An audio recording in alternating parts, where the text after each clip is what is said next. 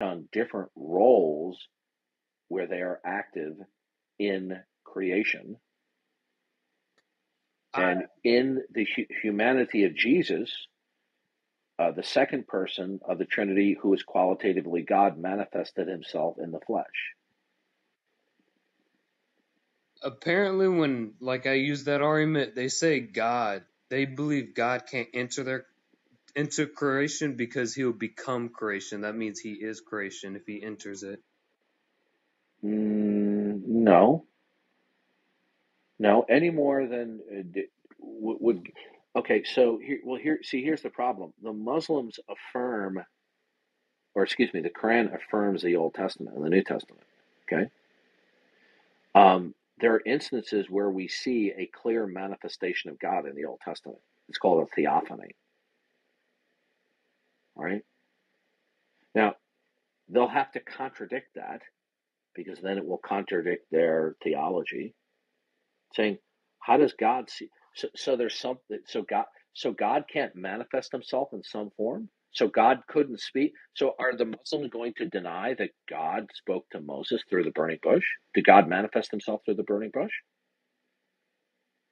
When God spoke to Adam and Eve, that was a physical manifestation of Himself through the elements, physical elements in the world. Yeah, I told them that and they said no, we deny stuff like that. God could never manifest himself Okay, well, well, well. Then what? What they're what this is to to to describe to you technically what's going on with these Muslims is called being stuck on stupid. Okay. They're assuming. Welcome to the room, Phobos. What would you like to say? So you have to understand. You have to explain to them. There's no change to divine nature in the incarnation. There's merely the addition of a human nature. See, there's no there's no humanization of the divine nature, no divinization of the human nature. You have to understand what the hypostatic union is. You need to explain that doctrine to them. Jesus Christ is one single person with two distinct natures without mixture. I I think what they're asking is how can you philosophically explain God entering his creation without him being the creation itself? Because that's, Well, I that's assuming there's a change. See, that's exactly what I explained to you. They're assuming, you got to hear the underlying presupposition there. They're assuming there's a change to the divine nature where the creator becomes the creation. Now, there's the, the second divine person of the Trinity takes on a human nature without mixture. There's no mixture of the human nature and divine yeah nature.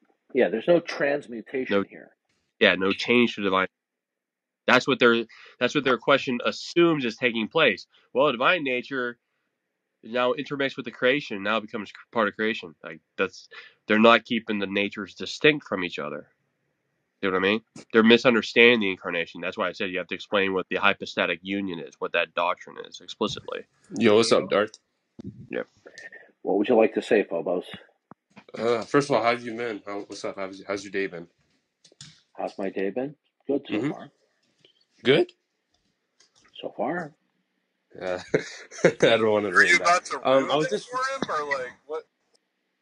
I was just wondering. Um, do you take it that there's like a, a hierarchy of circular propositions? Because when your argument reduces down to epistemic circularity, why should we accept that circularity over an atheist or a deist or a Muslim or a Jew?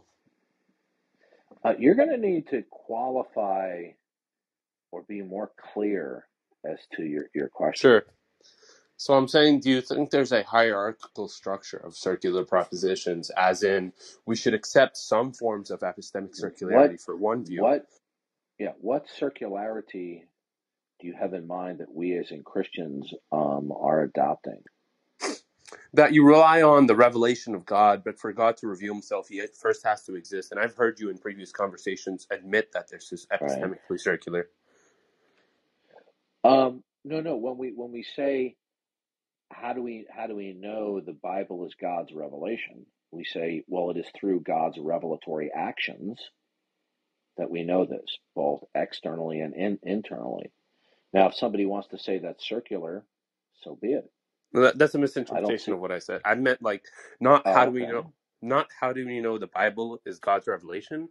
It's how do we know the Christian God exists, and then you would appeal to revelation, which presupposes r- existence, which is epistemic Uh, circularity. But you already admit to this, right? I right? presuppose his existence. Well, Yeah. whenever once we reach a certain level of neurological development, whenever we are conceptualizing facts and invoking facts, we will we will either in our minds explicitly or more commonly implicitly be referencing God or referencing not God. When you So say if somebody is let me may I finish please? yeah, you can finish. Sorry. What we're talk what we're talking about is um, is that we will conceptualize any given state of affairs when we think about it as at, at any stopping point in our thinking process, we will conceptualize it either as creaturely or not creaturely. So if if somebody is saying, well, well, that's circular, well, this is like somebody pulling a hand grenade, like the Joker did in The Dark Knight, uh, and and pulling the pin and about ready to release the, release the handle. Your Is this your when he had um will Bruce Wayne's wife captive or like his girlfriend? Is that what you're talking about? no. I'm Like talking the about when he oil? met when he when he met the gangsters, Oh, in his mouth. Oh, I see. The Okay. Dark Knight. Yeah, yeah. This is an objection which annihilates themselves. Yeah, but the thing Okay, is, um, so let me let me explain to you. Let me explain to go you. Go ahead, sir. Okay, in a Van Tillian approach, Van Til Ventil says the starting point, the method, and the conclusion are all involved with another. Okay, so our our proximate starting point can be our own self consciousness and our immediate sense perception. Then we have meth- methods of reasoning, both innate, uh, discursive, um, um, and then we conclude uh, that God God is the creator. Yeah. But all these things, each of those three separate things, depend upon each other, without which none of them could be intelligible. Yeah, they're, they're Now, codependent if uh, you if you propositions. r- right, so Yeah. these are a necessary ingredient for human reason and intelligibility. Now, Mm-hmm. the unbeliever who, who wants to come along and wants to classify that, oh, that, that's circular, right? Well, first of all, we're not talking about an or, just simply an ordinary state of affairs. But be that as it may, when they object to that, they're doing the very same thing in the form of its negation. Do you realize that?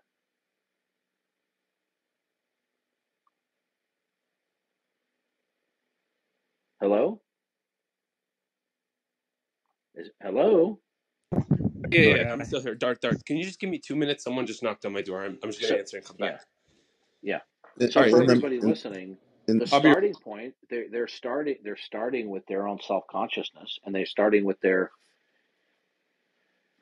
their their own self consciousness and they're going to deem it's not creaturely and then they're going to employ their reasoning based upon their non creatureliness and then they conclude not God.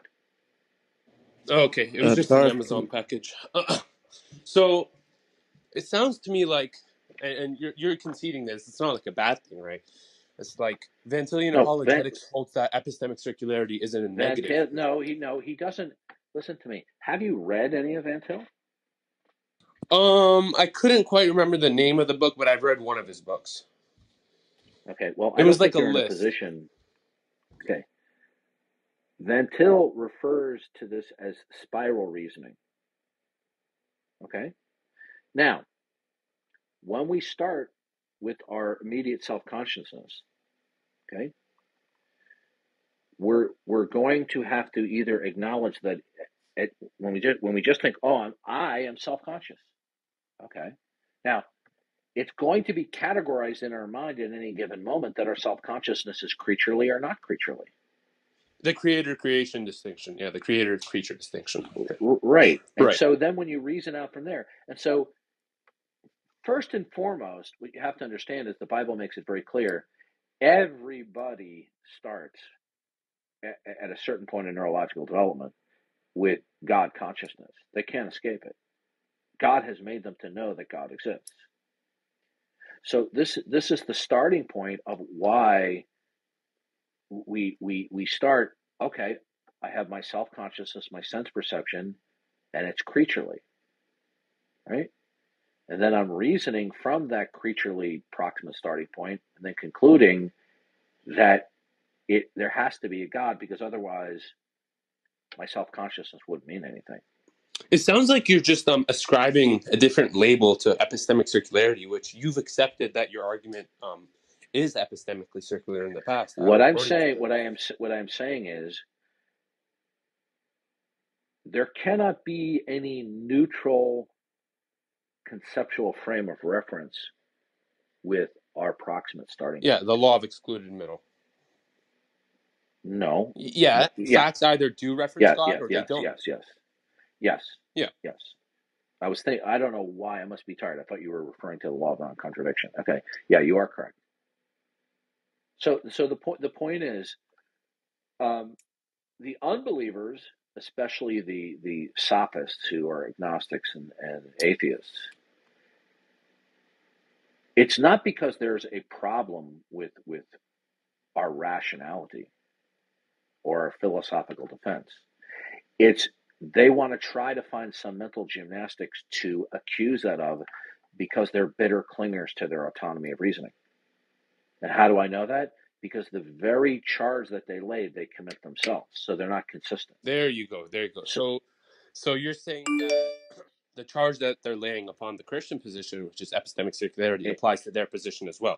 well, is you, you, you how do you how do you how, how do you have a neutral conceptualization of your of your self consciousness? You can't. You either yeah, you either exactly, have to exactly. you ha- Yeah, either you either from the get go have to adopt uh, that you're you cut out. yeah I had an alarm go off. Um, you have to adopt that your self consciousness is creaturely, or you or you or you will choose to not do that. All right. But you see, the, in the Christian worldview, yeah, it, it's not like we have a choice because at a certain point in neurological development, yeah, okay, w- we God makes us to think this way, but yeah, the individual can then choose to suppress that which God has made them know and say, yeah. No, I don't accept that my self consciousness, my sense Yeah, perception They're presented with the revelation. They can choose to accept it or reject it. hmm Okay. So, to, to just not retract, I mean, I appreciated all that. Um, I appreciated all you just said. It gave me some insight. But my original question was, and it sounds like you've admitted to it now. So, the unbeliever and the believer both suffer from epistemic circularity.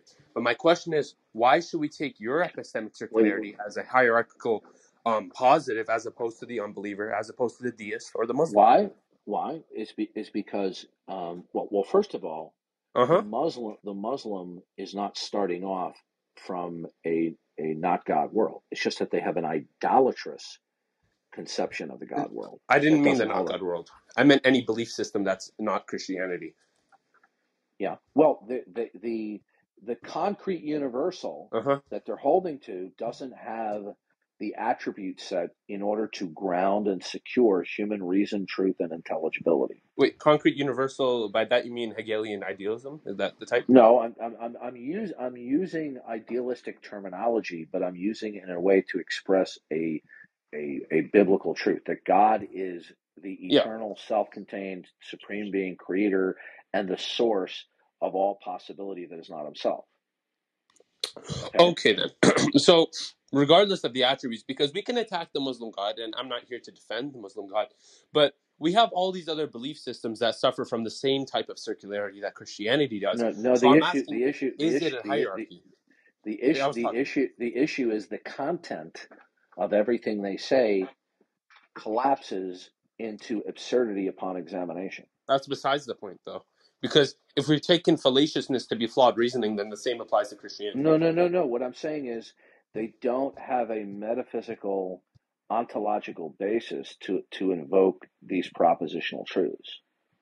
Well, regardless of the metaphysics and the ontology within the worldview, we start, first have to establish the actuality of the worldview. And if we're going through doing that No, through you- you're epistemic not The there has to be a position is hierarchy. the Christian position is No, no, we don't have to establish the existence of God. God has already done that.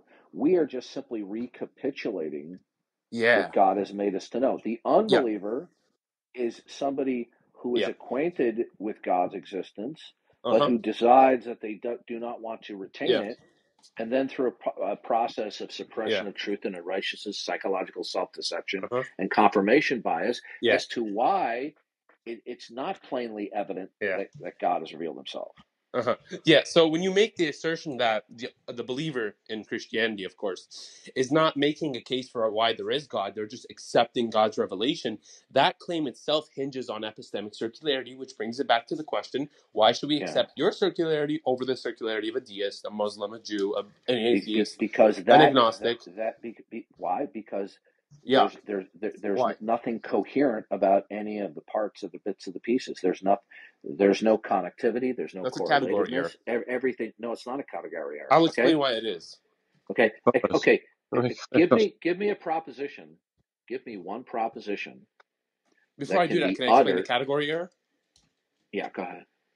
Yeah, so when I'm asking you why should we accept your circularity over the circularity of another belief system, you're going to attack the metaphysics and the ontology of that belief system as opposed to the reasoning for the hmm. actuality of the belief system. Yeah. I'm So saying re- you should accept it because God has already made you to know it. You're simply denying Yeah, it that's after circular. after. No, no, no, no, not, not, no, not a. It, it- it's not. No, it's there, there. It's a different hmm. kind of circularity. Okay, Yeah, it's the Bible. The. Bible teaches. Listen to me. I am. How commonly do atheists say that you know uh, theists are shifting the burden of proof? Actually, we're not. I don't think that's a we're valid claim. okay. Now, I think that's the fact of the claim. matter is, is it is it is it is it is it circular? Simply to say God has made us to know that, that He exists. Yes. Well, well, here's here's the problem. You want me to show you why it's It's circular? no, no. Let me tell you why. It's a No. transcendental. It's a transcendental necessity. Exactly, exactly. So epistemic circularity is a necessity when talking No, about worldviews. no, no. Do you know what a transcendental necessity is?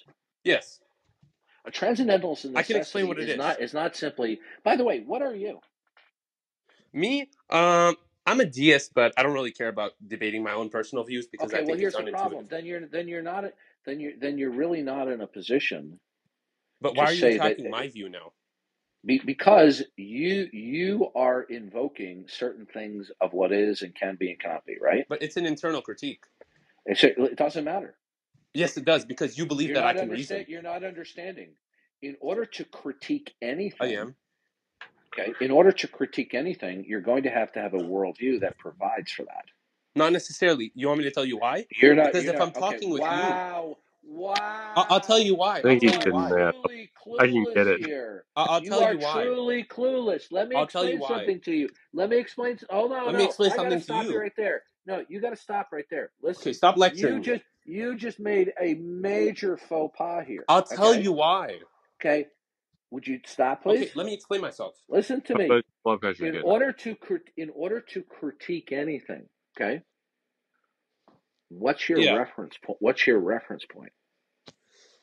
My reference point is going to be the ontology of my worldview, but that's Okay. irrelevant to the question I What asked, is which you haven't what is answered. what is your what is your concrete universal within your Wait, worldview? why are you asking me questions? You haven't answered mine. All right, li- listen. We're not going to play this little game. We're I have been sitting here. I have been sitting here for quite some time, answering all your questions. No, you've been giving me a community college lecture that's an unrelated oh, rabbit Oh, hole. okay, okay, right. Now. Okay, now we revealed him. Okay, goodbye. No, he's He good. just revealed that he's a he's a he's a he's a troll. Okay. He started pulling out ten Now, of them in a row. what whether anyone agrees with me or not, I was being painstakingly patient with him and methodically answering him. For him to resort to saying I'm giving a community college lecture, what he's attempting to do is take one of my cliches, if you will, one of my catchphrases that I use to impugn the poor reasoning and scripted responses of unbelievers and then turn that back on me. Okay? Which I was not doing that. Now, how can you critique anything if there isn't a worldview to, to critique from? Okay? What is his final reference point as to what anything is, can be, or cannot be? He's a deist. So for him, there is nothing that is identifiable and defensible that can be instantiated as his concrete universal or final reference point as to why anything is what he is. Because remember, he's a deist. Deists simply invoke God not by virtue that God has disclosed his existence, they're just invoking God. There's a God. They can't appeal to anything in creation that necessarily indicates God, because in order to do that, God would have to have purposed that in creation. But since his God doesn't give revelation, he's not in a position to state that. So, does anybody agree or disagree with me that once he tried that maneuver, I'm giving a community college lecture, that he was just trolling? You see, even when you bend over backwards to patiently and methodically uh, try to answer them, they still want to troll.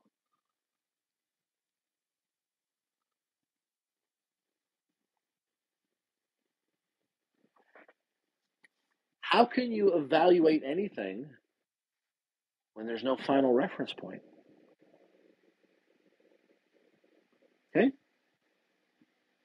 The reason why we can do an internal critique of other systems is because the Christian worldview is the only worldview that has the attributes and property set that reside within the triune God that enable us to deploy reasoning and thought and evaluate uh, certain propositions. Okay? I missed a couple minutes ago. What I missed, did he, uh, No, he started out like he was a sincere questioner, all right? And I methodically was answering him for, for quite a while. And then he revealed that he was only he was only trolling, okay? uh, Because when I was trying to say to him that being a deist, uh, he admitted that he was a deist. So I was po- trying to point out that he says he's doing an internal uh, critique of the Christian worldview. But in order to do an internal critique, there has to be a worldview that provides for critiquing. Okay? How in a world where the God of the Bible does not exist, how are you able to critique anything? Right? exactly. That's kind of like what we were Uh, talking uh, about earlier. yeah, I, I, gave him a knockout punch, and rather than realize that he was TKO on the canvas, he decided to go into a troll mode and say that my methodical answers to him, whether he agreed with it or not, was a community college lecture, which it wasn't. So he he was he was actually he was actually trolling the whole time, but he was pretending not to troll until he could drop that zinger. Okay? Mm. And can you elaborate the, the beginning part where he said that there's ep- epistemical circularity? Well, in a Epistemic s- in circularity. in in in a sense, we at any given moment we're operating uh, w- w- even when we start from our our our proximate starting point, such as our self consciousness and sense perception, we are still implicitly inherently operating from a first principle, which will be God. Okay, the difference between us and the unbeliever is that the unbeliever has decided to abandon that which God has to make them known. I don't care whether they they, they don't believe that. Okay? I'm going to remain faithful to the biblical testimony whether they object to it or not. Okay? Now, the the the, the point the point is this, okay? If he's going to say that's circular, well then why is he objecting to it? Because he's doing the very thing that he's claiming. There are different kinds of circularity. Okay? Now, I don't know if you heard me. I talked about that. Um, there, there's also involves a transcendental reasoning what are the necessary pre? what is the necessary precondition or preconditions in order for X to be the case, and without which you couldn't invoke X. Okay. Right. And sure. if if that if we're we're talking about the ultimate precondition, not just a precondition, the ultimate precondition. So if it's the ultimate precondition, unless the individual themselves are the ultimate precondition, like God, then you're going to have to start with God's revelation of himself. Okay? And if you don't, they're either going to have to admit, if they're honest, well, they're not going to admit that God has revealed himself, okay, in, in a way that is undeniable and, and irrefutable. They're going to say, oh, oh no, no, no, God, God has God hasn't done that. But when they when they do this, they are committing the very circularity that they are accusing us of, and but they don't care. Okay, Sure.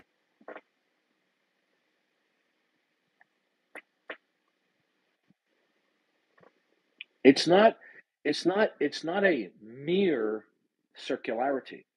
Van Til says the starting point, the method, and the conclusion all depend upon each other, and without which none of those three parts could be coherent. Welcome to the room, Harold.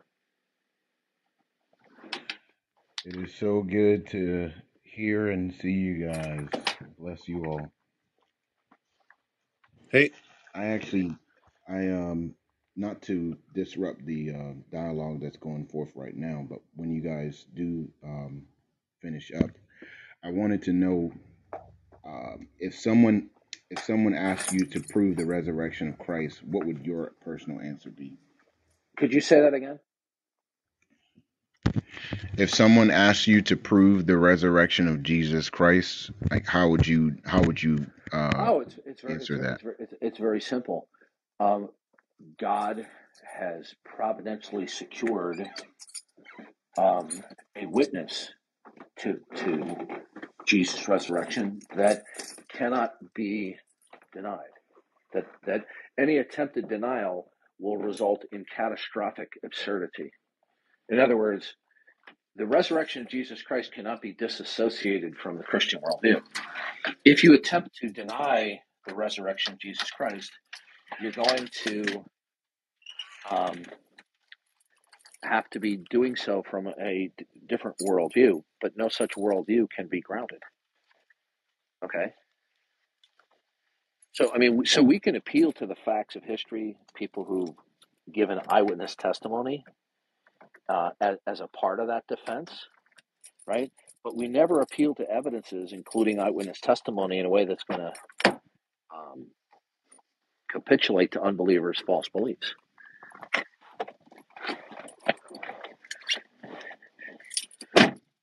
So, can you still hear me? Hello? Yes. Yeah, I can hear you. Okay. So, we just simply point to, we simply repeat what, what God has stated, right? That God raised Jesus Christ from the dead, and we know this by uh, eyewitnesses who God providentially secured to be an infallible witness of his resurrection. Disputed.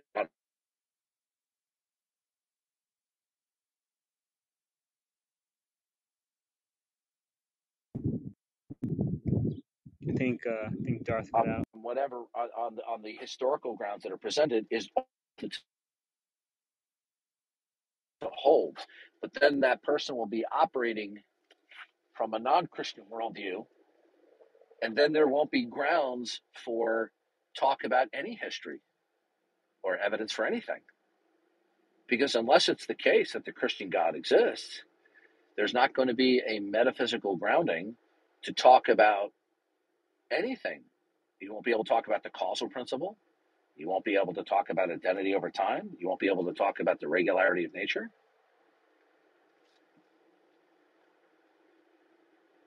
right? So we we we we, we should not isolate the defense of the, the resurrection of Jesus Christ from its inseparable nature to the Christian worldview as a whole. Okay,